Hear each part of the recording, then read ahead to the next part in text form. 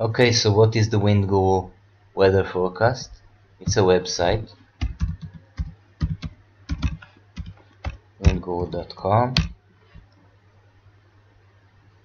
and in here I'm getting a weather forecast which two lines of wind speed, wind gust, wind direction with an arrow, temperature, cloud coverage, it's summer now so I don't have much cloud coverage, and rating for sailors and uh, windsurfers, kite surfers, whatever.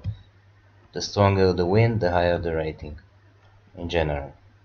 Now WindGuru is an interface to numerical model, model results and numerical models they give a weather forecast so this is the forecast for today and that's tomorrow and overall there are 10 days here.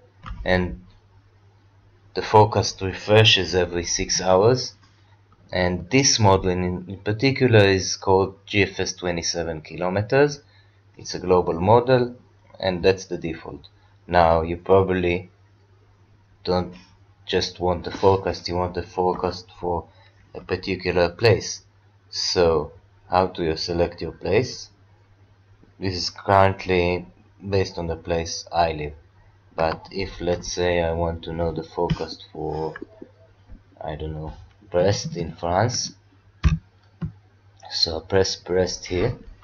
And as you can see there are many Brest spots but only the ones where the WindGuru icon is in blue are the ones I can use others are only for the pro version users and I currently use the free version.